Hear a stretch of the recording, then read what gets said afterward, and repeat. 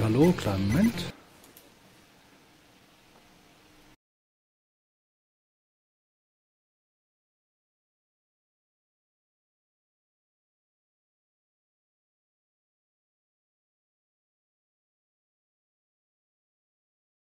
So, und dann machen wir mal. Hier muss ich auch nichts hören.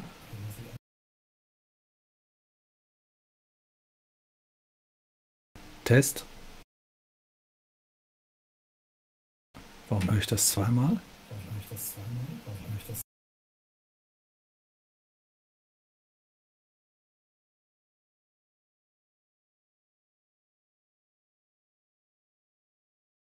Test.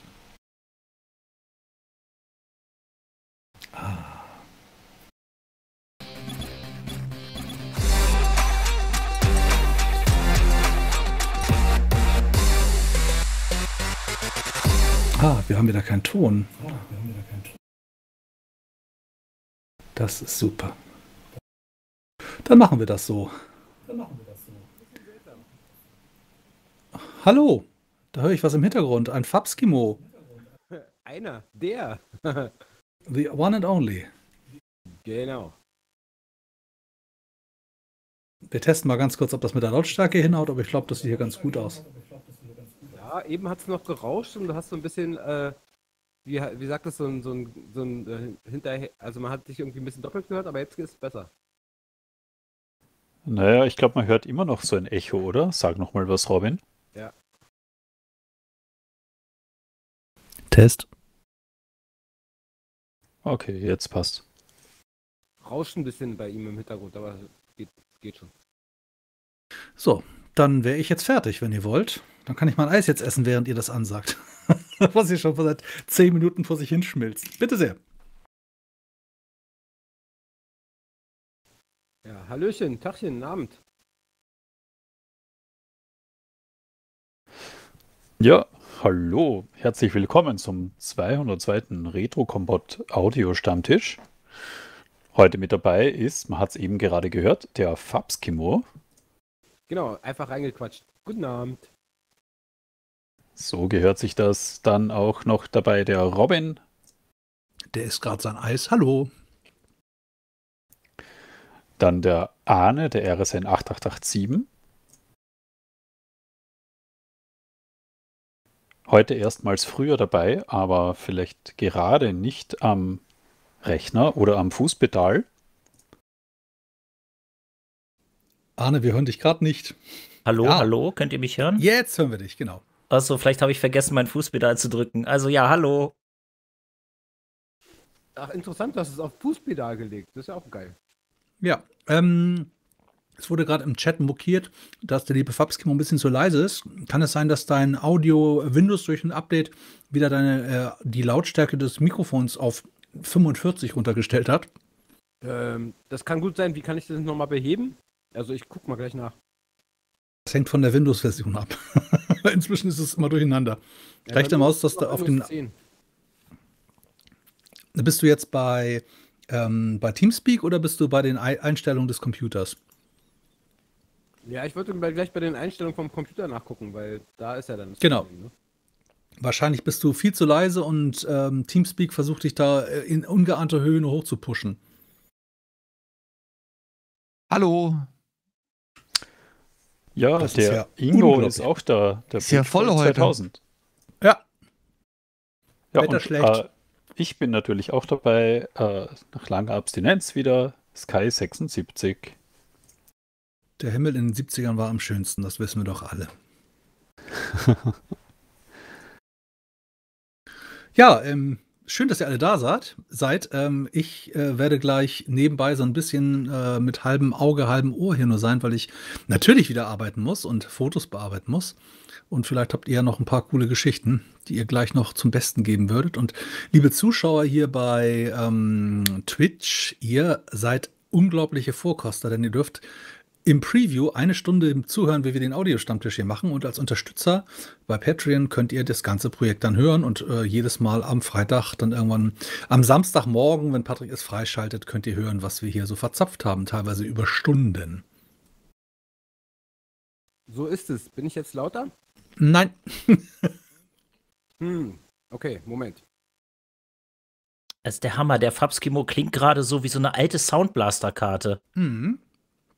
11 Kilohertz. Mit diesem, mit Ach, diesem mit- äh, Rauschen, ja, im Hintergrund. Ja, ziemlich reduziert. Sound Blaster, der PC Sound Standard. Ist vielleicht das falsche Mikrofon an, irgendwie vom Headset oder. Nee, es ist, also bei Teamspeak ist auf jeden Fall das richtige Mikro angeschaltet und ähm, ja, und ich, ich, keine Ahnung, also dann ist es in den, bei den einzelnen Geräten habe ich ihn auch, äh, Teamspeak dann auch auf ganz laut gestellt, das war nur so auf der Hälfte, aber scheinbar nutzt es immer noch nichts, irgendwas muss ich da ändern. Ja, ein bisschen retromäßig hört sich das an, aber ja. Vielleicht beim Mikrofoneingang bei Windows selber im Audiomixer. Das Mikro auch nochmal hochregeln. Versuche ich gleich. Oder mal rausstecken, wieder reinstecken. Also es ist ein USB-Stecker, meint er, ne? Ach so, das ist USB. Ja, das ist ja, oh, das ist ja voll modern. Gibt es den Audiomixer überhaupt noch bei Windows? Doch, ne? Ja, ja. Rechte Maustaste auf den, ähm, auf den Lautsprecherausgang und dann Lautstärke-Mixer öffnen. So, wie klinge ich jetzt? Super, Viel besser. besser. Aha, es- besser, Also besser. es stand tatsächlich bei den Windows-Eigenschaften von Mikrofon auf 35, keine Ahnung warum. Windows-Update. Aber ja, aber wen- wenigstens hat er sozusagen das nicht wieder von alleine runtergeregelt jetzt automatisch. Das macht er dann auch manchmal. Da weiß ich auch nicht, was dann zu tun ist. Das hatte ich aber auch früher mit dem USB-Mikrofon beim Mac, dass der halt dann auch immer irgendwie manchmal die Sound-Settings da verstellt hat. Und seitdem ich jetzt hier das XLR-Mikrofon habe an dem, ähm, ja, an der XR18, da habe ich nie wieder Probleme gehabt diesbezüglich. Natürlich nicht, weil du ja nur Ah, über analog ja. gehst. Ja, und das Ach, ich geht eigentlich ganz rund. Ich hatte das ja auch mal nach, das, nach, nach irgendeinem Update, dass mein Mikrofon gar nicht funktionierte und im Endeffekt war es dann von Windows irgendwie verboten worden, das ähm, Mikrofon zu benutzen, weil es nicht sicher war und ich musste es dann explizit erlauben und so ein Quatsch. Also völlig absurd. Ja, manchmal sind so Sicherheitssachen, weil ein Mikrofon hat natürlich überhaupt keine großen Rechte, aber ich verstehe das schon, dass da manchmal ähm, die, die, die Programme Amok laufen und denken, oh Gott, ein USB-Gerät, äh, setzen wir erstmal die Macht auf Null.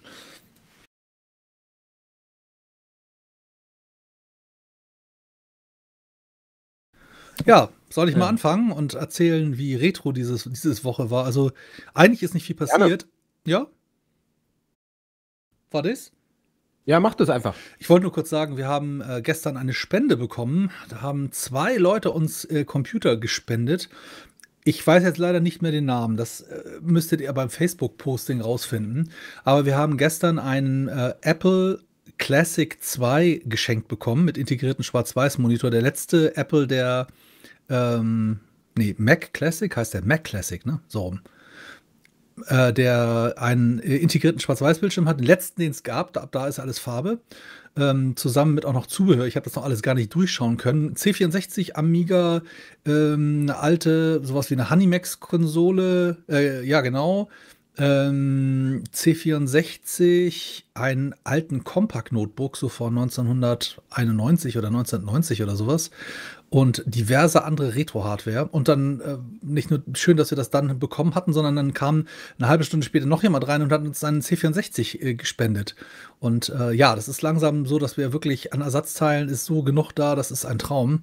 Ähm, da müssen wir uns bald keine Gedanken mehr machen. Wir werden aber irgendwann einfach aus anderen Gründen, ich will jetzt hier nicht schon wieder von Geld anfangen, werden wir diesen Monat wahrscheinlich noch ähm, auf dem Flohmarkt sozusagen online äh, Sachen verkaufen, die wir definitiv nicht mehr in der Ausstellung brauchen, weil wir sie entweder zehnmal haben oder weil wir sie einfach nicht mehr als benutzen werden. Also sowas wie ähm, Tapes haben wir noch massig, C64 Floppies haben wir noch massig.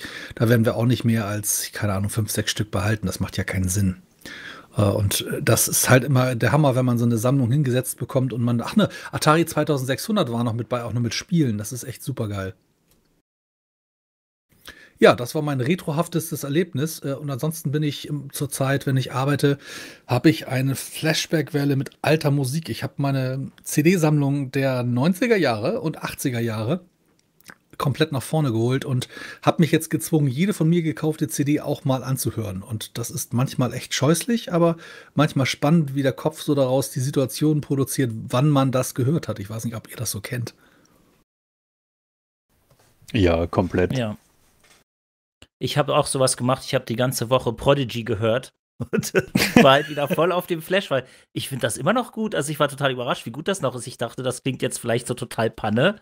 Aber nö, also der Bass ist immer noch genauso fett wie damals, ne? Bei diesem Fat of the Land bei diesem Album von Prodigy, wie da der Bass abgeht. Das ist oh, unglaublich, wenn das losgeht, echt. Wow. Das war auch mal der Test. Für, da habe ich irgendwann als mit 17, 18 habe ich mir einen Subwoofer gekauft, einen passiven. Also mein Verstärker musste dann noch mehr ächzen.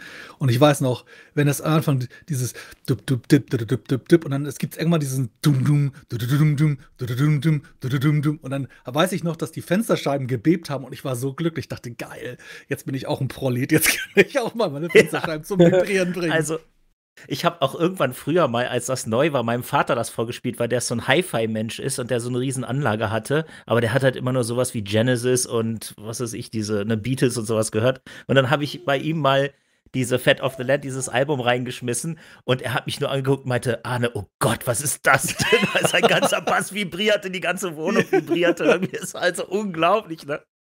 Ja, werde ich nie vergessen. Also nur um es zeitlich einzuordnen, die waren mal in Berlin und ich war da und es war 1996. Also so lange ist das schon her. die haben bei uns mal im Stadtpark gespielt und wir wohnten, oder wir ja, wohnten damals so vier Kilometer Luftlinie entfernt. Und die Vibrationen waren bei uns immer noch zu hören. Also das, Bombe. Wirklich ja. nicht zu schlagen, ja. Das Coole an denen war auch, das war so eine komische Mischung aus Metal und Elektro und Live-Act, ne, mit diesen Ten mit diesem Getanze und Geschreie. Es war irgendwie alles zusammen, so komplett so, das konnte man nicht richtig einordnen als Genre.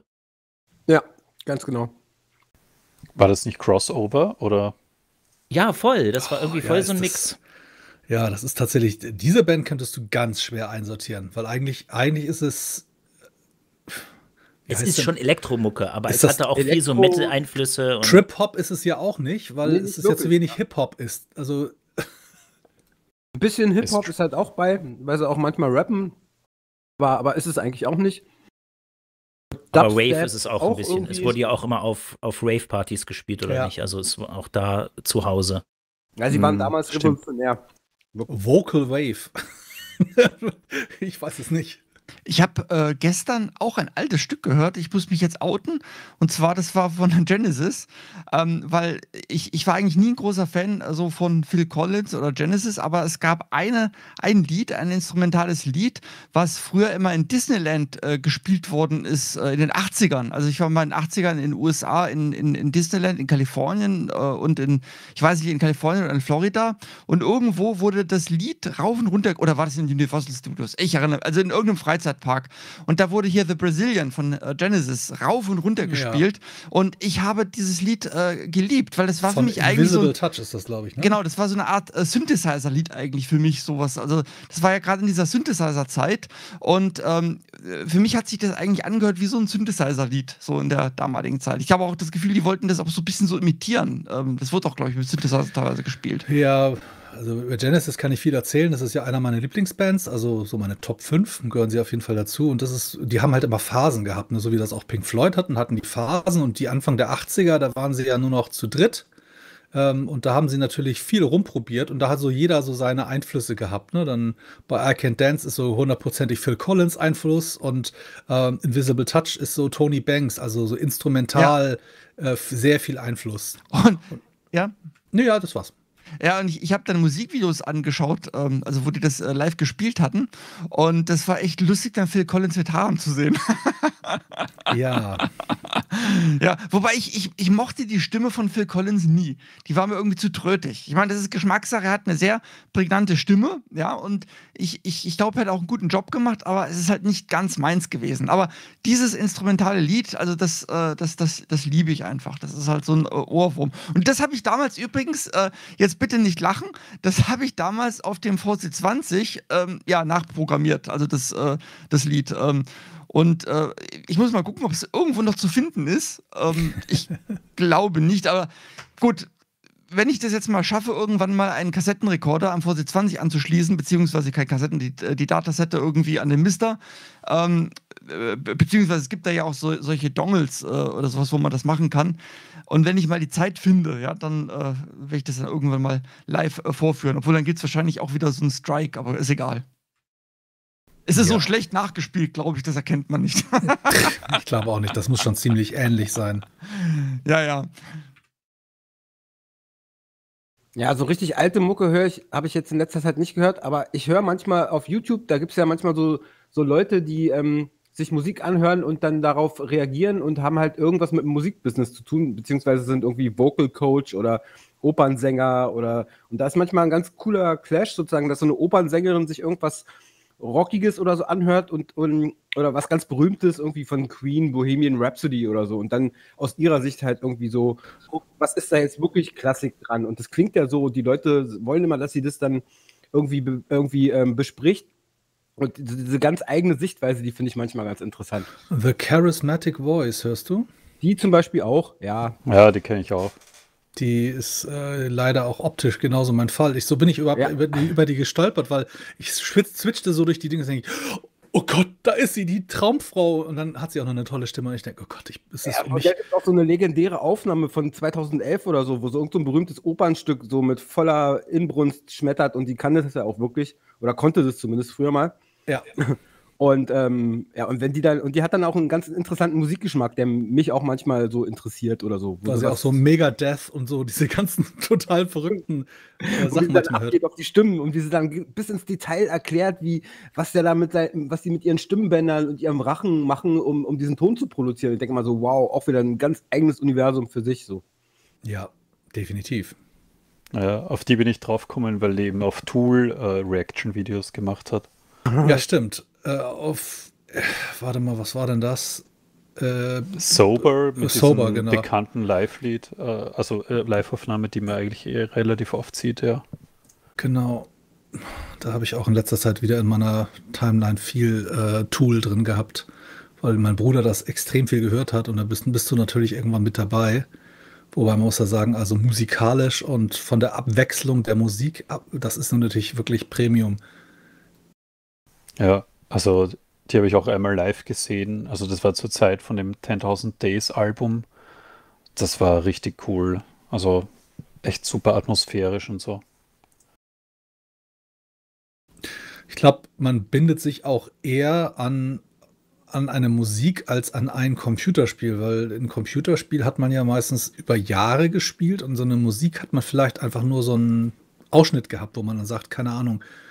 Ich habe auch mal eine Phase, wo wir schon bei, vorhin bei Phil Collins war. Ich fand auch mal äh, Phil Collins alleine als Einzelkünstler sehr gut. Dieses, äh, nicht But Seriously, sondern das andere. Wie hieß denn das danach? Ähm, mit Another Day in Paradise. Ja, Ja, Das- das, ist gut gewesen. ja, und das ist aber, wenn du das, also das kann ich heutzutage ganz schwer hören, weil das ist schwülstiger, schmieriger Pop ganz häufig. Und da kann ich heutzutage absolut nicht mehr drauf. Deswegen kann ich auch mit bei, bei Genesis bin ich, da hört es dann bei mir irgendwie so 84, 85 auf oder vielleicht noch Mama. Da würde ich auch noch sagen, das ist gut, aber danach ist irgendwann Sense. Ja, ganz komisch. Bei mir ist mein Musikgeschmack irgendwann an einer bestimmten Stelle stehen geblieben und äh, hat sich dann nicht mehr weiterentwickelt, richtig. Also ich habe ne, natürlich früher auch Tonträger gehabt, CDs und so und Kram und habe die irgendwann alle so zu MP3s konvertiert. Und dann habe ich halt so relativ viele MP3s auf dem Rechner, so eine Sammlung. Und ähm, dann waren meine, meine CDs, brauchte ich ja dann eigentlich nicht mehr. Die habe ich dann auch irgendwie verschenkt alle. also auch schon alles ewig her, so 10, 15 Jahre her mindestens. Ne? Und jetzt wird diese Musiksammlung mit mir immer älter und wir haben uns so aneinander gewöhnt.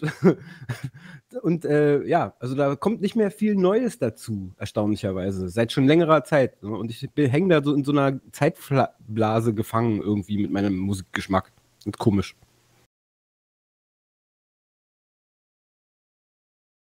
Ich Ja, glaube es nicht, dass geht das aber, komisch glaube ist. ich, uns allen so, oder? Weil ich meine, man hat halt einfach, also selbst wenn man immer wieder neue Dinge hört, dann ist das, trägt es ja nur einen kleinen Teil zu dem Berg bei, den man eigentlich schon sein ganzes Leben lang hört. Also, Das stimmt. Aber es spricht Es- halt bei mir ein bisschen dagegen, dass man sich so stark weiterentwickelt oder so in der Hinsicht. Also bei mir passiert das nicht so sehr. Also ich finde das alles so toll, was ich da so habe. Und ich brauche auch nicht mehr. Kaum, jedenfalls. Oh, übrigens, äh, Christian Blind Gamer ist da äh, schon länger, aber wir waren da gerade in der Diskussion über die Reaction-Videos. Kleiner Witz, wir haben ihn nicht gesehen. Das kann nur aus Berlin kommen, sowas. Ne, Christian? Ja, jeder andere würde sich nicht mehr trauen, solchen Sch äh, Witz zu reißen, aber die Berliner Schnauze, die lässt sich von sowas nicht unterkriegen. Hallo zusammen. Komm, also wer hier nicht zu Selbstironie fähig ist, hat ja auch nichts verloren. Dann erzählt mir doch mal, um welche Band ging es denn, als ich hier reinmarschiert bin vorhin? Wir hatten am Anfang Prodigy besprochen. Äh, Ja, weil, danke, das war. Äh, Ich genau. habe schon sowas vermutet. Oder ich hatte auch Massive Attack erst so ein bisschen im Verdacht. Passt von der Beschreibung auch ein wenig. Oh, Massive Attack, super. Massive Attack ist ja eigentlich Mezzanin. typisch für Trip-Hop. Ne? Genau. Ich habe auch letztens, Teardrop lief letztens auch bei mir im Autoradio und habe ich gedacht, das ist, zieht mich irgendwie runter. Ich habe dann weitergemacht. Das war mir zu depressiv.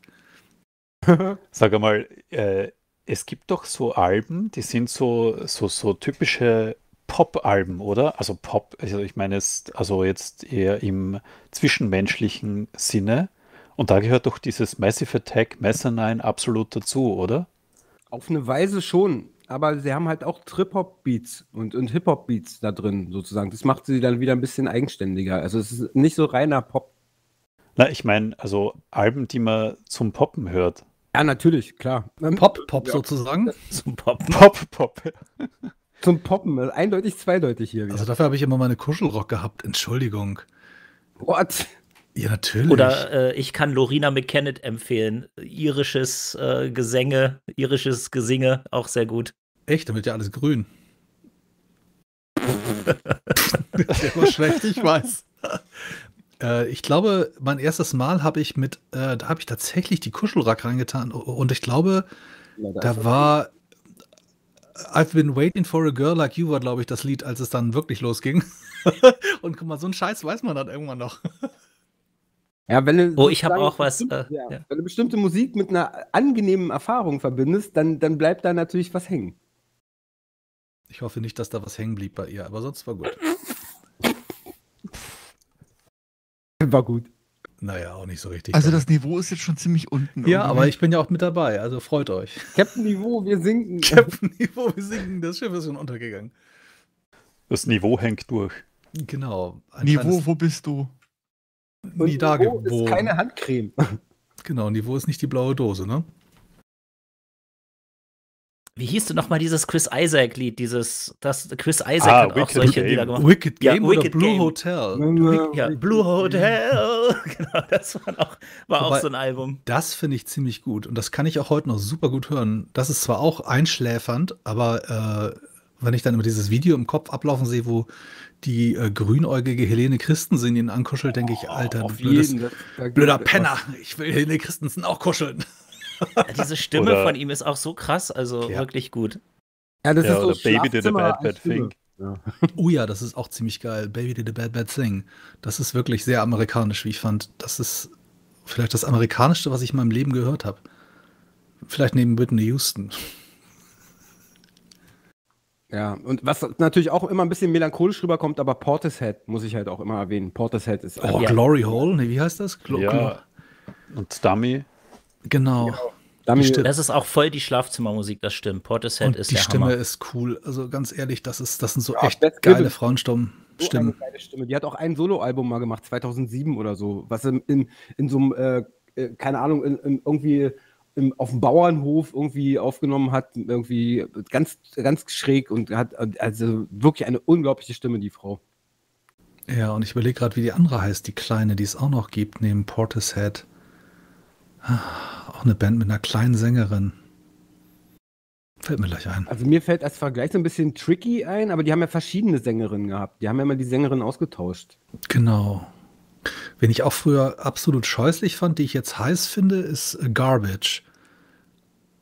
Frau Manson. Heißt die nicht Ja, sogar Mar Marilyn Manson? Nee. vor. Also Müll Cheryl hat es Manson angetan, heißt die oder? doch, Kann oder? das sein, Robin? Bitte was? Müll hat es dir angetan irgendwie so insgesamt. Müll? Müllmusik? Ach, was ich für Nee, nee, Scheiße. nicht nur Müllmusik, auch Bei die, ihm die geht's nur um die aus Frauen. dem Müll. Die Süßigkeit das- aussehen. Du meinst, weil ich meine Verpackung aus dem Müll geholt habe, damit ich euch zeigen konnte, damit ich das nicht nochmal extra kaufen musste und dann nochmal gegessen hätte? Genau, also du liebst alles mit Müll. wenn im Video eine hübsche Frau rumläuft. Nee, das stimmt nicht. Ich bin aber tatsächlich äh, getriggert worden von, also zum Beispiel auch, was ich als Song furchtbar langweilig finde, ist äh, ähm, George Michael mit Freedom, aber beim Video sind einfach zehn Traumfrauen im Video mit drin. Das sind ja alles Supermodels in dem Film. Ja, klar. Und, aber ich finde äh, ich finde die Musik auch nicht, also den Song finde ich auch cool, tatsächlich. Nee, den kann ich auch nicht Der mehr hören. Der ist einer der erfolgreichsten und meistverdienenden ähm, Musikproduzenten gewesen damals, ne? Tatsächlich. Aber ich kann jetzt momentan hier Wham überhaupt nicht mehr hören mit White Christmas. Ich hasse das. Ich, äh, ah, mir kommt es echt hoch, wenn ich das höre. Ja, weil du weißt, dass das um Mann Es ist. Last Christmas. White Christmas ist die Äh, Last amerikanische Christmas, nee, Version. genau, das ist, äh, ja. Also ich, ich kann das einfach nicht mehr hören. Guck mal, ich vergesse die Text sogar schon, weil ich äh, schließe mich dagegen aus. Also ich, ich möchte, ich mache Wer ist dieser. Last Christmas? Die singen immer über Last Christmas. Last Christmas. Ja, Ich hab noch was, als was so äh, alt Santa Christmas. an der Schmerzgrenze, wirklich, ja.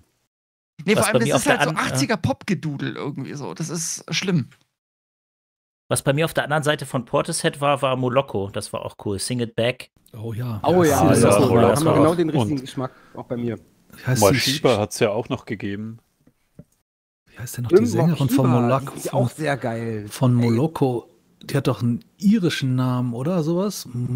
Shiobe? Nein. Äh, Ja, ich weiß, aber mir kommt jetzt der Name äh, Rosanne Murphy. Rosin Murphy, Ja. genau. Genau. Ah, und Robin, meintest du die, mit der Kleinen die Björk? Nee, die sowieso. Die hat einen Platz in meinem Herzen. Da, Oh, kommt- da kommt sie Björk. auch niemals Oh, raus. sag mal, ich glaube, hier bin ich ja doch genau richtig. Kennt, kennt ihr das Video von Björk, wie sie, der Vater von Björk ist äh, Radio-Fernseh-Elektroniker, wie sie den, Ja. die sind, wie sie den Fernseher erklärt? Das so muss. Das muss irgendwann Ende der 80er, Anfang der 90er gewesen sein. Hat sie ein Interview in äh, Reykjavik äh, gegeben mit einem Radiosender da und glaube ich schon in Englisch. Und sie erklärt, wie ein Fernseher funktioniert. Das ist so geil. Und sie sagt dann, ja, diese, also sie sagt nicht Kondensatoren, aber sie sagt dann, ja, und das sind kleine Häuser und Straßen und so. Das ist so süß. Ja. Und ich weiß nicht, aber ist der Fernseher eingesteckt? Die greift da ziemlich wild herum und da ist ja auch immer noch so Restspannung drin in so einem Fernseher. Restspannung. Ne? Ich weiß es nicht mehr genau, aber es war äh, tatsächlich etwas, wo ich sage, das sind so, das ist, muss aufbewahrt werden für die nächsten 500 Jahre. Wenn du einen Künstler hast, der sowas am Anfang, so, so ein ungelenktes Interview gibt, Wahnsinn. Ja, toll, ne? Weil sie dann zeigt, wie, wie viel Nerd sie eigentlich ist. Ja, und da geht sie natürlich in die Herzen von vielen. Ein Glück, dass sie kein Herzchirurg war. Wie heißt sie denn noch? Hm. Ja, super. Also ist aber auf jeden Fall genial, dass sie, dass sie äh, mich hier gerade total ablenkt, weil ich bin nämlich eigentlich, äh, laufe ich auf dem Zahnfleisch und, und bibber von, äh, von oben bis unten, weil ich morgen eine Prüfung habe und ich äh, komme gar nicht klar und deswegen ist es hier die, eine willkommene Ablenkung für mich. Da kann ich mal echt an was anderes denken, eine Weile. Du machst morgen deinen äh, Fahrradschein, meinst du? Mein Fahrradschein, genau, ja. Ja. Schwa- Schwarzen Gürtel im Aikido. Ja. Es ist Super. sehr, sehr, sehr schwierig. Also, weil es einfach so viel ist. Also, es, ich, ich mache das ja schon lange, über zehn Jahre oder so, ne? Und ähm, ich kann das eigentlich alles, aber es ist halt so viel Scheiß auswendig zu lernen und äh, es muss so technisch genau sein. Der Fuß muss genau dastehen und genau so und genau so. Und ich, äh, wie gesagt, ich laufe auf dem Zahnfleisch. Bin echt am Zittern. Du solltest vielleicht noch ein bisschen Last Ninja zocken, dann wird's schon. Oder White Christmas gucken. Wegen der Steuerung, wa? Ja. Oh Mann. Warten Sie, ich kann auch rückwärts das- gehen. Ich muss den Knopf drücken und dann rückwärts gehen. Wenn du das meisterst, dann, dann wirst du auch dann ähm, die. Prüfung meistern. Es Aber nicht den Rasen Pixel. betreten. Rasen betreten verboten. Man muss Und Welcher Teil war so verbuggt? Der dritte Teil. Äh, da war doch ein Teil, der war doch so unspielbar, weil Wenn der du schaffst, bei Last Ninja auf das kleine Boot zu springen, dann schaffst du auch deine Prüfung. ja, das kleine Boot. das schafft, der schafft alles. Nee, was war der Teil mit dem Loch? Nee, das war der, das war der zweite. Oder der dritte, ich erinnere mich gar nicht mehr. Aber irgendein Teil, der war doch total verbuggt. Ich glaube, das war der dritte. Ja, das war kann auf jeden Fall sein. irgendeine Amiga-Version, glaube ich. Ja, das kann sein. Oder wo dann plötzlich die 1060-Version anders war wie die Amiga-Version. Wo dann teilweise mehr Levels, oder die Levels waren länger waren. Äh, Also das war echt äh, krass. Oder es gab Gegenstände bei der Amiga-Version, die keinen Sinn gemacht hatten, weil die, äh, die Rätsel haben gefehlt. Ja, es war doch irgendwie sowas, das isometrisch ging auf dem C64 gut und auf dem Amiga war das voll umständlich, das so Programm zum Programmieren oder so. ne? Ja. Oder du bist dann irgendwie drei Felder nach rechts gegangen und kamst dann oben raus. Irgendwie. Oh Mann, das war aber lustig damals. Ja, auf dem Spektrum ging isometrisch auch gut. Ich das weiß war auf auch diesen nicht. alten Computern gut. Ich, ich weiß auch nicht. Eigentlich, äh, im Nachhinein war das Spiel ja auch total verbuggt und wir haben es trotzdem alle irgendwie gut gefunden. So von der Stimmung her und wir hatten Nee. echt riesen Spaß. Also ich nicht. Ich habe das nie gut gefunden. Auch damals nicht. Ganz ehrlich, ich fand das auch damals schon grottenhässlich einfach. Also zumindest. Also, du aber der Ja, die- einzige. Die glaub ich, also C64-Version war doch schön. Also, keine gut. Ahnung, ich habe das auf dem Amiga gespielt. Amiga habe ich nie halt gespielt. Also, 64. Amiga, äh, ich glaube, ich habe es mal angetestet, aber Amiga war irgendwie, das hat keinen Spaß gemacht, so richtig. Äh, ich, ich weiß nicht, also die C64-Version war schon cooler irgendwie. Und man darf auch nicht vergessen, auf dem 8-Bitter, ja, da ist es natürlich deutlich, also da muss man halt mehr technisches Know-how da reinstecken, um sowas Geiles rauszubekommen, als auf dem Amiga. Auf dem Amiga war das dann halt irgendwie alles selbstverständlich, so die, die, die, die Grafik, so fand ich eher. Und ja. Das war auch portiert, glaube ich. Die haben für den Amiga einfach die C64-Grafik genommen und noch ein bisschen dazu gezeichnet. das sah echt also die schlecht war nicht, aus. die sah also, halt ja nicht wirklich sehr gut Ja. aus. Weil äh, theoretisch hätte der Amiga das ja äh, sogar besser machen können. Aber sie haben, glaube ich, auch, wie du sagst, das einfach nur so portiert, ohne da wirklich prinzipiell was zu ändern. Weil du hast ja auf dem Amiga die verschiedenen Bitplanes und das ist ja für Sachen, die irgendwie hintereinander sind, eigentlich besser geeignet, ne? Denke ich mir immer so in meinem. Ja, also theoretisch hätte man das alles viel besser machen können. Ähm, äh, und auch die Musik. Ich meine, die Musik, die war halt so lieblos da runtergemoddet irgendwie. Und das auf dem C64 war es halt nur geil. Und auf dem Amiga wurde das halt verkorkst. dass es überhaupt immer so in der Frühzeit von Computern, dass erstmal Sachen von anderen Computern portiert werden. Also zum Beispiel auch die frühen C64-Spiele, ist mir auch jetzt erst klar geworden, waren ja alles eigentlich Portierungen von Apple II und Atari-Spielen. Und Spektrum. Zum ja. Beispiel Jumpman und Fort Apocalypse und so. Das war, glaube ich, alles, fast alles von diesen Spielen war zuerst auf diesen früheren Computern und Konsolen, Apple II und, und Du hast Atari. und beim Amiga, ganz am Anfang, wurden auch viele C64-Spiele so eins zu eins, so, äh, nicht eins zu eins, aber relativ schlecht so portiert. Das ist witzig. Und Das erst stimmt. später wird dann die Hardware voll ausgenutzt von dem neuen Gerät. Und weil es beim Amiga dann keinen Nachfolger mehr gab, gibt es dann natürlich auch nichts, was diese Amiga-Sachen dann weiterführt in irgendeiner Form. Also so richtig. Das stimmt, ja, eigentlich gar nicht. Außer PC halt. PC kam ja dann, aber Genau, aber der konnte sich dann es- nur ja. für, sich selbst weiterentwickeln, so. Aber es gab auf dem PC am Anfang ja auch ein paar schlechte Portierungen von Amiga-Spielen. Ne? Ja, ich glaube, es gab viele Amiga-Spiele auch für den PC, die waren dann aber oft schlechter. Bis der sozusagen sein viele. eigenes Ja, äh, also der, Leben der gefunden Pool, hat. Der, also erstmal gab es äh, viele C64-Umsetzungen, also gerade so die 87, 88 oder vielleicht sogar 86er schon, halt viel auf CGA. Es gibt halt so eine Umsetzung von Gremlins, die sieht einfach absolut bescheiden aus. Also da, das ist mit Abstand der schlechteste Homecomputer optisch. Und äh, erst mit EGA, also so 87, wo das da ein bisschen genug Leute hatten, erst dann wurde das. Äh, Genau. wo, Ja, der Amiga war halt äh, durch seine ganzen Custom-Chips, war er irgendwie auf eine gewisse Weise, hat er mehr Rechenpower als andere. Und das hat eine Weile gedauert, bis der PC mit reiner Megahertzzahl dann da auf. Genau, der hat. es einfach plattgewalzt mit äh, irgendwann mit 16 Megahertz. Dann fing es halt an auf dem PC und auch weil die Rechen, der ja auch anders gerechnet hat als ein ach, äh, 68.000er. Genau, du konntest locker eigentlich auch noch äh, PCs bis 100 Megahertz wahrscheinlich noch so halbwegs mithalten oder so, denke ich mal, auf eine gewisse Weise. Aber dann haben die Grafikkarten dann auch zugelegt auf dem PC und haben dann den Prozessor entlastet und, und so eine Sachen. Und irgendwann ging es einfach nicht mehr. Weiter für den Amiga. Ja, das denke ich auch, als der PC so bei 100 Megahertz angelangt war, da hat er den Amiga echt überholt. Das war so ungefähr die Zeit. Ne? So Ich glaube, das war 95. schon, das war schon vorher. 94, das war mit dem 95. DX266 war das, glaub ich, ja schon. 486 DX2 66 Megahertz, Genau. das war so das, der Punkt, finde Ja. ich. Der Sprung auf die Ja, gut. 33 Megahertz äh, C PCA oder äh, FSB, also Frontside-Bus, der war, hat extrem was gebracht. Und der 486 DX266 hat ja auch einen ziemlich schnellen Co-Prozessor. Ich glaube, das war es dann irgendwann. Das hat es dann halt einfach, äh, Ja. das hat den halt den Amiga irgendwann gerissen. Das ging da nicht mehr. ja, du da brauchst es dann irgendwie. haben auch eine Zeit lang geheult und haben gesagt, nee, der 6860 mit 50 Megahertz, der ist schneller als ein 200 Megahertz, äh, aber den konnte sich ja eh keiner leisten. Ich hatte einen. Ja, ja. aber äh, es war dann halt, irgendwann war der PC so schnell, dass man diese Custom-Chips nicht, gar nicht mehr brauchte, weil du konntest alles in der, in, in der CPU berechnen, die ganze Grafik, und es Genau. war trotzdem schneller als ein Amiga mit all seinen Custom-Chips. Ja, klar. War halt Das war halt so dann der Hammer, ja. Ach, schade, schade, was? Da, wenn sie da weitergemacht hätten und noch bessere Custom-Chips und dieses ganze Multi-Dingsbums da irgendwie so fortgeführt hätten auf eine Weise, irgendwann die ganzen Custom-Chips auf Karten ausgelagert oder irgend Die, sowas. die, die hätten eigentlich schon frü früher anfangen müssen mit anderen Prozessoren. Die hätten damals zum Beispiel den Amiga 2000 vielleicht schon mit dem 6820 rausbringen müssen. Ja, Ja, klar wär- müssen. Und der Und- 1200er war auch viel zu langsam. 14 Der war, ja, der war auch viel zu spät. Der hätte eigentlich schon 6830 haben müssen.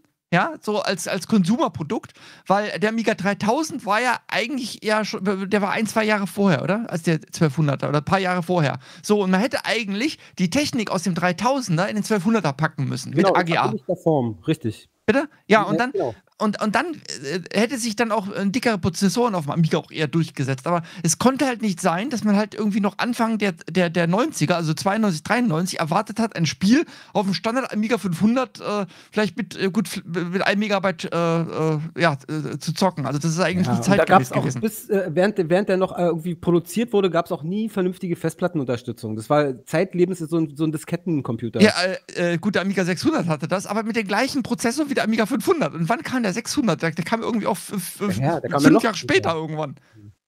Aber auch Ja, das der kam, Festhalten ich, an auch Motorola. 92. Auch Das die haben war auch- so die eine- haben auch fünf Jahre später. gesagt. Genau, das ist- Aber im Nachhinein kann man es natürlich immer leicht sagen. So. Das haben die damals ja auch nicht so gesehen. Aber Motorola war schon voll auf dem absteigenden Ast damals. Ja, Motorola war irgendwie ein Fehlgriff dann irgendwann. ne? Aber Apple hat ja auch lange an Motorola festgehalten, aber das war ja auch deren Problem dann eine Zeit lang, ne? Mit Ja, den Power ja dann auf die den Power-PCs Macs. dann umgeschwenkt. Dann irgendwann PowerPC, das stimmt, ja, das war ja auch eine Zeit lang, ging es ja auch, aber das war PowerPC nicht auch von Motorola? Nee, das war IBM, Ja, ne? IBM, ja. IBM und ja. Motorola, War das nicht oder? Motorola? eine Die- das war Zusammen, zusammen, vielleicht. Ja. ja, gut. Ja, gut, es hätte schon gegangen. Es gab ja auch diese neuen Amiga-Modelle dann irgendwann mit PowerPC, aber da, da gab es ja dann gar keine Spiele mehr für. Und der Witz war ja, dass eigentlich der Power-PC in gewisser Weise ja auch irgendwie die Zukunft war. Also, ähm, es war ja ein RISC-CPU. Und, ähm, ja, und, Bitte? Für eine Zeit lang war es die Zukunft. Ja, ja, Moment, und jetzt haben wir, äh, also zumindest in der Apple-Welt ist jetzt wieder RISC hat sich durchgesetzt. ja stimmt. Durch- Durch die ARM-Prozessoren, die sie jetzt selber herstellen, Ja, ist es tatsächlich Also das wieder ist so- zurückgekehrt. back to the roots. Also eigentlich. Die einzigen, äh, die jetzt arm werden, sind die Leute, die Apples kaufen. also ich bin mit meinem Arm zufrieden. Rechts oder links? Lieber Arm dran als Arm ab, war? Ja. Ja, Also so von der Leistung her finde ich den echt äh, schon ziemlich geil. Vor allem halt auch die Geräuschentwicklung. Das ist halt äh, das Beste. Und ich glaube, ich Ja. kann mir nie wieder einen Rechner kaufen, der laut ist. Das geht einfach nicht mehr. Also von der Effizienz her sind die natürlich Welten schon weiter. Und dass sie äh, teilweise Ja. halt auch irgendwie äh, auch normale PC-Grafikkarten einfach mal so äh, mitberechnen, so, das ist halt auch krank. Ja, das kommt immer halt durch die schöne Apple-Welt. Wir machen einfach einen Cut und die Leute kommen trotzdem mit. Wenn das auf dem PC passieren würde, dann würden wahrscheinlich alle Amok laufen. Wieso läuft denn da meine 25 Jahre alte Software nicht mehr drauf? Genau, man muss doch die 640 Kilobyte Grenze beachten. Genau, und wir müssen nur noch irgendwie 16-Bit abwärtskompatibel bleiben. Und Apple sagt, äh, was? 32-Bit? Nein, alles 64-Bit. Wird einmal rasiert und äh, jetzt, können wir, jetzt können wir neu anfangen. Wir, was hätten wir dann als Möglichkeiten? Genau, und da wird das andere mit einer Emulation halt eine Weile mitgeschleppt äh, und da geben sie sich halt viel Mühe mit ihrem Rosetta-Zeug. Aber äh, ja, und deswegen funktioniert das dann da auch. Es ist, Es ja, ist auch ja auch unglaublich- Mojave ja, wurde ja auch, äh, das war das letzte System, was noch 32-Bit, äh, äh, glaube ich, unterstützt und äh, danach funktioniert schon wieder einiges nicht mehr. Darum habe ich auf äh, zwei, also ich habe ja ganz viele Macs äh, in der Arbeit und zu Hause, also Laptop und stationär. Und auf zwei Geräten jeweils habe ich noch Mojave. Sind das äh, äh, 64-Bit-Geräte oder sowas? Weil du kannst die auch mit dem Open Core Patcher kannst du auch äh, auf älteren Geräten neuere Versionen drauf machen. Also ich habe auch einige Macs, äh, unter anderem äh, ja auch von 2013 oder sowas. Da habe ich dann aktuelle Betriebssysteme drauf. Ja, Also auf meinem alten äh, MacBook von 2013, da habe ich eben das Mojave und jetzt Da habe ich eben du so ein M1. Aktualisieren. Also du kannst auf deinem alten von 2013 kannst du auch ein aktuelles äh, drauf machen. Genau, aber da lasse ich das drauf, weil da läuft dann noch so ein bisschen so alter Photoshop-Kram, bevor es die Cloud äh, geworden ist und äh, dieser floppy ähm, Cryoflux-Dingens läuft da auch noch. Also das ist natürlich ein Grund, genau, weil ich habe nämlich auch einige Software, die äh, vermisse ich leider, weil die kann ich jetzt auch nicht mehr irgendwie über VMs äh, ja, äh, da äh, laufen lassen. Und deswegen habe ich auch noch meinen alten Mac, äh, wo ich den Akku ausgetauscht habe, der liegt auch noch hier rum. Und den behalte ich auch erstmal, weil da kann ich ja dann halt auch noch dann die alten Intel-Sachen dann, äh, die alten Intel VMs kann ich dann, dann noch nutzen, weil die kann ich leider auf dem neuen Mac nicht so starten, die muss ich dann halt neu aufsetzen, da habe ich dann halt auch nicht unbedingt Bock drauf. Ja, es ist so blöd, dass man immer diesen Spagat machen muss, weil äh, auf der einen Seite äh, geht es mit den Betriebssystemen immer voran, auf der anderen Seite, also ich habe jetzt zum Beispiel im äh, Slack, was wir äh, in Kooperation mit so Kunden und so weiter und Kooperationspartnern nutzen, da steht jetzt auch äh, auf meinem Mojave äh, Max, und das ist ja kein super altes System, ja, ab März äh, wird das schon nicht mehr unterstützt und schauen Sie, dass Sie halt updaten auf ein zeitgemäßes Betriebssystem. Da denke ich mir immer, ach, was soll dieser künstliche Druck? Das, das ärgert mich halt schon ziemlich. Ja, ich finde es halt auch eine Sicherheitsissue, weil die dann irgendwann nicht mehr geupdatet werden, dann ist mir das auch etwas zu riskant bei Elternbetriebssystemen. Die äh, Apple-Betriebssysteme werden ja noch bis zu einem gewissen Alter dann noch gepflegt. Also so, ich glaube, drei, drei, drei, vier Versionen oder sowas älter. Äh, das wird ja noch abgedatet, aber Mojave, das ist ja, glaube ich, dann auch schon ja, out of uh, service. Wie ist denn das bei Windows? Schleppen die immer noch die 32-Bit-Emulationsgeschichte mit sich rum? Also diese ganze. Ja. Ah, ja. ja.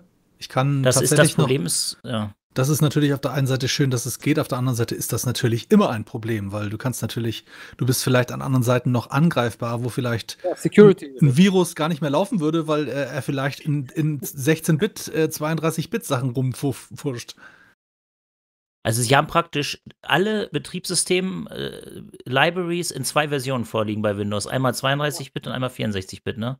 Irgendwie so muss es ja sein. Also du hast alles doppelt dann. Ja. Ja, und im Prinzip alles bis, ich sag jetzt mal, Windows XP könnte theoretisch funktionieren, aber es ist halt auch nur noch ein könnte, weil viele XP-Spiele halt nicht mehr laufen, weil die natürlich hardwarenahe Treiber brauchen und äh, die, die Treiber gehen ja nicht mehr, weil die Hardware ja gar nicht mehr XP-Fähigkeiten hat. Oder das sie ja umgehen sogar den ganzen Kram und gehen direkt auf die Hardware. Das geht dann auch meistens schief. Das ist schon erstaunlich, was noch läuft. Zum Beispiel kannst du das alte Outrun 2 Coast to Coast von Windows XP jetzt noch auf Windows 10 installieren und es funktioniert. Also es ist schon unglaublich. Ja, das sind, das sind die Sachen, wo die Installer so lustig aussehen. Genau, wo du merkst, oh, die Kästchen sehen so richtig, richtig scheiße ja. alt aus. Oh, wie klein kann Schrift sein? Ich habe zum Beispiel ein Programm, da kann man ähm, so ähnlich wie bei WinRAR ähm, Dateien in viele Teile teilen. Das habe ich früher gebraucht, um per E-Mail äh, Kunden äh, Blöcke sozusagen zu schicken, die sich mit den Ansippern nicht auskennen. Und das Programm ist, glaube ich, von 98 und das funktioniert noch. Das ist so krass. Na klar, ich meine, ich kann immer noch Grand Prix Legends spielen. Ne? Das ist von, von ja, 98. Stimmt. Da gab es ja auch einige Patches und Fixes äh, für irgendwelche ähm, schnellen 32-Bit-Sachen, wo es dann eine Zeit lang nicht ging, aber die Community entwickelt das ja alles immer noch weiter. Ne? Das ist ja inzwischen kaum noch Originalcode da drin. Das ist echt erstaunlich. Ja, und auch andere Sachen, auch Anwenderprogramme, so AutoCAD, alte Versionen und so, das funktioniert halt alles noch unter Windows. Also es, ja, ist, schon, es ist schon erstaunlich. Wenn sich die Programmierer an die ganzen äh, äh, Konventionen gehalten haben und schön ähm, auf der äh, Betriebssystem-API programmiert haben, dann geht das tatsächlich immer noch, ja. Aber du hast ja natürlich bei Windows auch null Sicherheit. Also ich glaube, diese ganzen, ähm, diese ganzen Patches, ob das dann noch funktioniert, also sowas, äh, so Browser-Patches und so, wenn du natürlich dann irgendwie eine alte Version vom Browser oder eine 32-Bit-Version benutzt oder ich weiß nicht genau, aber irgendwie, ich glaube nicht, dass die diese ganze 32-Bit Ebene des Betriebssystems noch so mit, mit ähm, Updates füttern wie die moderne 64-Bit-Layer-Ebene. Äh, Aber die ist natürlich, die 32-Bit ist natürlich äh, Steinzeit und wahrscheinlich ziemlich ausgereift. Also ja. Es sei denn, du hast mal wieder so gravierende Fehler, wo sie dann in irgendeinem Sicherheitszertifikat vom, was war das, TCP/IP, wo sie, oder IPX, wo, wo hatten sie da letztens diesen, oder letztens vor Jahren auch mal diesen riesen Fehler gefunden, wo man äh, den kompletten Computer angreifen konnte, einfach nur durch, ein, durch diesen äh, da war, war irgendwas im Cache oder so, ne? War das TCP/IP? Oder so. Ah, da fällt mir was ein. Habt ihr das Video von Linus gesehen, wo er, wo die so offenlegen, was beim Windows Sleep Modus alles kaputt ist?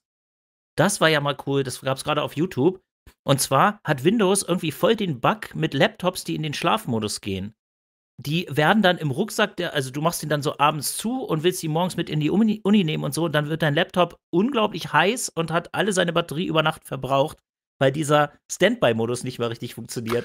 Wobei, ist es Windows oder sind es wieder die Treiber? Wahrscheinlich wieder irgendwelche Mainboard-Treiber, die nicht kooperieren. Das ist Es ist eine Kombination. Die, die haben gesagt, die BIOS-Hersteller, die wollen diese alten Standby-Schlafmodi nicht mehr unterstützen. Die unterstützen oft jetzt nur noch den allerneuesten Standard, das heißt Windows Modern Standby oder so. Und dieses Modern Standby ist aber in Windows noch total fehlerhaft irgendwie, wie das unterstützt ist. Aber da das BIOS dann nur das unterstützt, dann geht auch nichts anderes mehr. Und dann muss das halt, wenn es in den Schlafmodus geht, über diesen Modern Standby-Modus gehen. Und das Problem ist, wenn du den Laptop eingesteckt hast und dann in den Schlafmodus wechselst, also die, äh, die Klappe, den Bildschirm, also den Laptop zumachst, und ihn dann in deinen Rucksack packst, dann denkt der, obwohl du ihn abgesteckt hast vom Strom, er ist immer noch am Strom und lädt dann über Nacht irgendwelche Updates runter und macht diese ganzen Hintergrundaktivitäten und äh, verbraucht sozusagen seine eigene Batterie komplett, obwohl er eigentlich im Schlafmodus sein sollte. Und bei diesem Linus Video von Linus Tor, äh, nicht Linus, wie heißt er? Nicht Linus Torvalds, Linus. Äh, Linus Torvalds ist der von Linux, genau. Tech, Linus Tech LTT diese komische Linus Tech Tips, die haben das also ganz rudimentär getestet und meinten, der Trick wäre, um diesen Fehler zu umgehen, sollte man seinen Windows-Laptop, ähm, bevor man ihn zumacht, vom Strom trennen. Sodass er also vorm Zumachen schon weiß, oh, ich bin nicht mehr am Strom. Und dann passiert es nicht. Aber wenn du ihn zumachst, während er am Strom ist, dann merkt er das später nicht, wenn du dann den Strom absteckst und denkt, er ist immer noch äh, weiterhin am Strom. Voll der komische Fehler. Und in den Kommentaren bei YouTube hat dann tatsächlich ein Ingenieur von Microsoft sich gemeldet und gemeint, oh, ihr habt recht, das ist wirklich der Fehler und ich habe das mal weitergeleitet. Ich, äh, der meinte selber, ich arbeite zwar als Ingenieur bei Microsoft, aber nicht an dieser an diesem Standby-Modus, aber ich habe das mal an die Entwickler weitergeleitet und hoffentlich wird es jetzt gefixt. Aber die meinten, der Fehler ist schon seit drei Jahren gibt es diesen Fehler schon bei, mit diesem Modern Standby.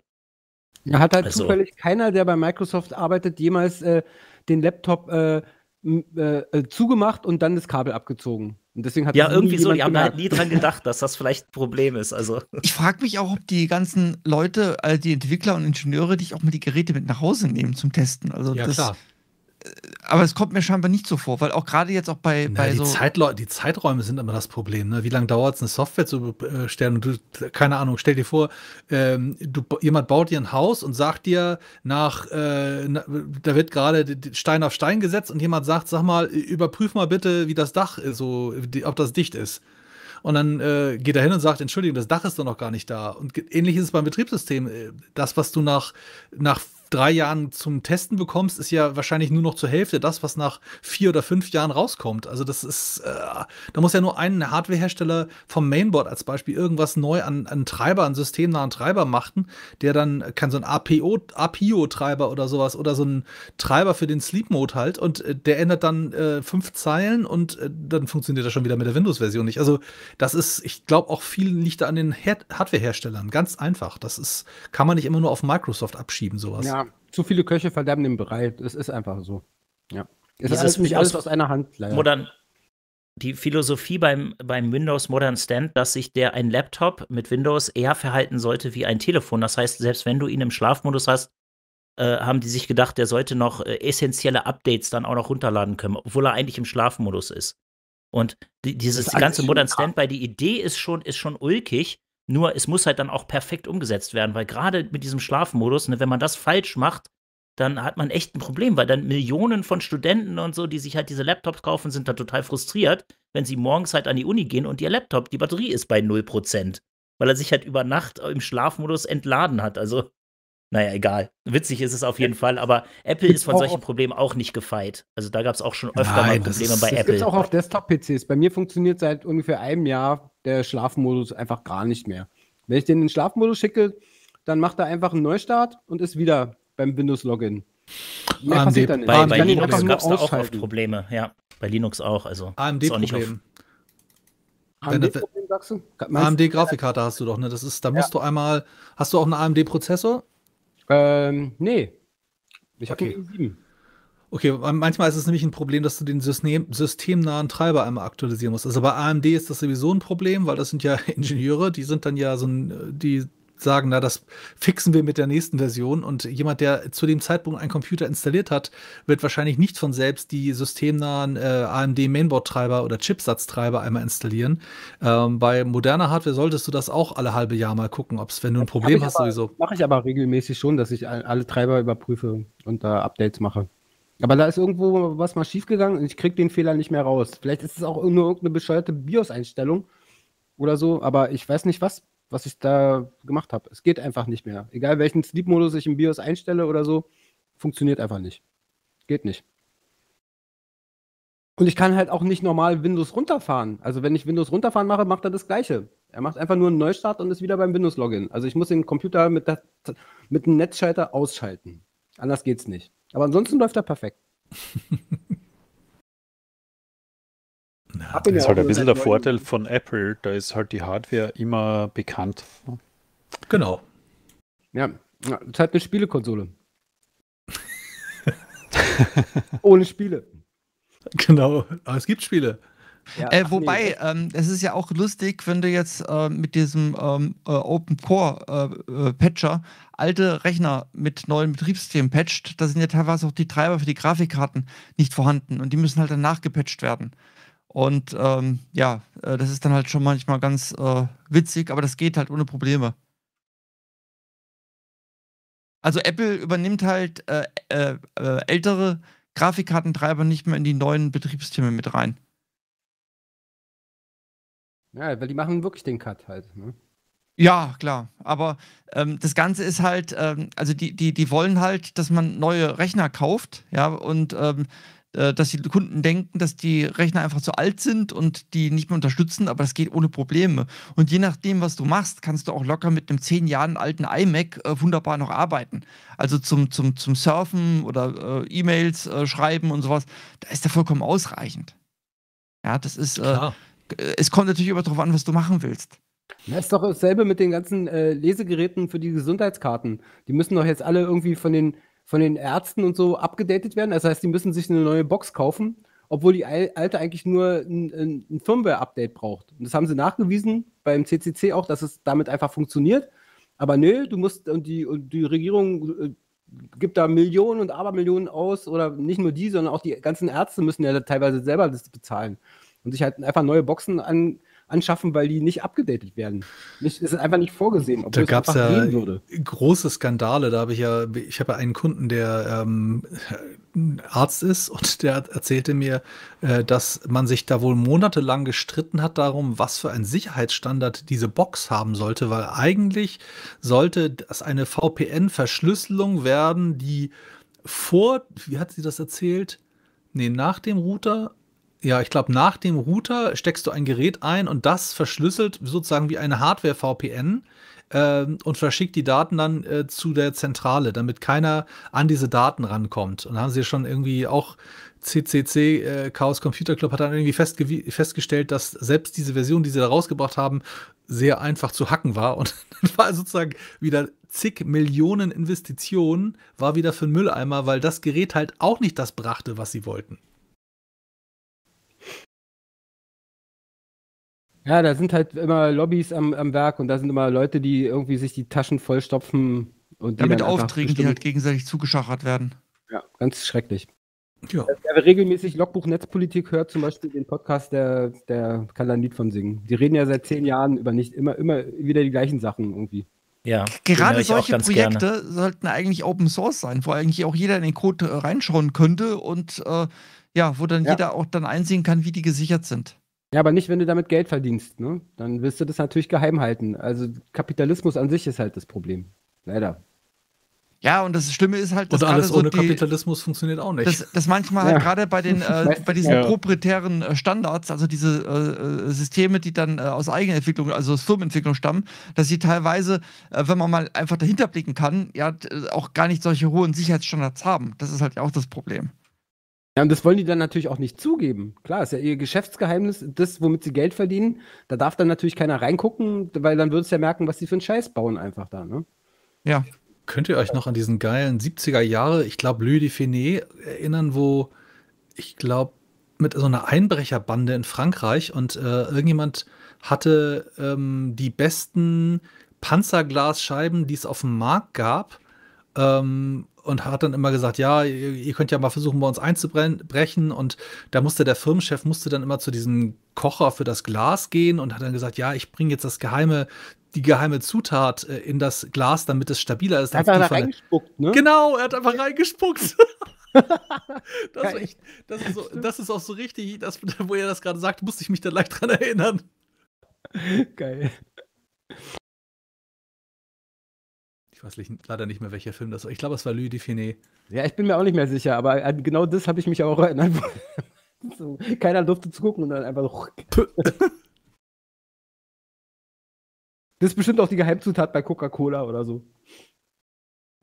Wie war das bei. Ähm, ist doch von ja. Otto Walkes, ne? Der Smooth in der Kombüse verfeinert das Gemüse. Und dann so ein Bild, wo er da so reinpinkelt. So. Das kenne ich tatsächlich nicht, nein. Ist das nicht auch bei den Bierbrauereien früher immer so gewesen im Mittelalter, dass es darauf ankam, wie dreckig das Wasser ist, wo die ja. gerade gebraut haben? Das hat eigentlich den Geschmack des Bieres bestimmt irgendwie. Bei uns in Hamburg war es so, die Holzenbrauerei hat damals immer das würzigste Bier gemacht, wenn wir, äh, wie war das, auflandige Flut hatten, sozusagen, von die, die Elbe hochkam. Da gab es halt ein bisschen Salzwasser drin und äh, die Scheiße ist wieder nach oben geschwommen. Boah. Oh Gott. Naja, im Prinzip killst du ja vieles davon, wenn du es halt äh, gären lässt und dann kochst. Ne? Also es ist ja. Äh, bleibt ein bisschen was übrig und das macht den. Ein Gesch bisschen Scheiße bleibt übrig, genau. ja, so wie in der Adria schwimmen, ne? Oh, was war das noch? Man trifft immer alte Bekannte. Gerd, Gerd Polt, wie hieß denn dieser Film noch, wo sie in, Ur in Urlaub gefahren sind? Man spricht Deutsch. Man spricht Deutsch. Oh, das oh, ist ja. so furchtbar. Oh. Grausig. ja, das Deutsch Lieblingsurlaubsland von Österreichern und Deutschen. Ja. Wobei das nicht inzwischen nicht mehr stimmt, ne? Das ist, glaube ich, Spanien geworden. Ja, stimmt, ja. Ja, aber für die Österreicher so 80er Jahre noch. Genau, für die Österreicher ist bestimmt Italien noch, glaube ich, das Haupt. Ich, ihr habt ja keine Küste, also fahrt ihr natürlich ja. gern nach Italien. Ihr habt keine Küste mehr, ja Entschuldigung. Das nächste. Ja, klar.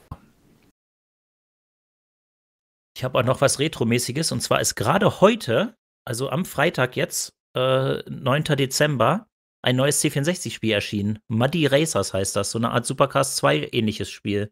Habe ich sogar tatsächlich irgendwie mitgekriegt, aber nicht weiter verfolgt. Cool. Ja.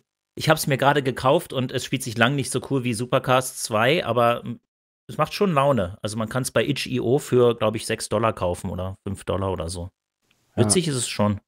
Interessanterweise, ich habe so ein altes Rennspiel, was ich auch vor zehn Jahren oder so wurde das entwickelt von so drei Finnen, das heißt irgendwie LFS, Live for Speed. Und da habe ich mir jetzt gerade erst vor zwei Tagen die S3-Lizenz geholt, also so ein für 12 Dollar oder sowas, ne? Und der einzige Unterschied zu der vorherigen Version, die es schon seit Jahren gibt, ist einfach, dass das jetzt gemoddet werden kann und dass dann einfach jetzt ein Haufen neue Autos zur Verfügung stehen. Und das macht so viel Spaß weil die Modder halt einfach dann einfach irgendwelche neuen Autos dazu basteln und dabei haben sie nicht mal irgendwelche Lizenzen, das heißt nur Fantasiestrecken eigentlich und nichts Reales dabei so, aber dadurch hast du halt so einen Mehrwert und das macht so einen Spaß, das Spiel, das ist super realistisch gemacht halt, so, also Simulation mehr als Spiel so und sowas liebe ich ja eh. Und deswegen habe ich wieder total Spaß mit diesem uralten Spiel. Weil da gab es vorher auch nur drei, drei Autos oder so. Hm? Sieht aber cool aus. Das muss man kaufen, ne? Oder ist das umsonst? Nee, das muss man kaufen. Aber das kostet irgendwie, wie gesagt, 12 Dollar oder irgend sowas. Das ist nicht teuer. Die Online Racing Simulator steht hier. Live for Speed, ja. LFS. Ja. Das ist super. Das hat einen super Online-Code und du hast äh, Funktionen, die sonst immer noch kein anderes Spiel hat. Du kannst zum Beispiel, damit haben wir damals so ein, so ein 16-Stunden-Rennen gemacht. Das heißt, du kannst während des Rennens online ähm, kannst du an die Box fahren und kannst an den nächsten Spieler übergeben. Und der fährt dann mit deinem Auto weiter und so eine Geschichten. Oh, das ist geil. Das ist richtig gut, ja. Und halt auch die Fahrphysik ist sehr detailliert. Ne? Dafür, dass es wirklich so ein Drei-Mann-Team ist, die es seit zehn Jahren oder so entwickeln, dieses Spiel, ist das einfach echt geil.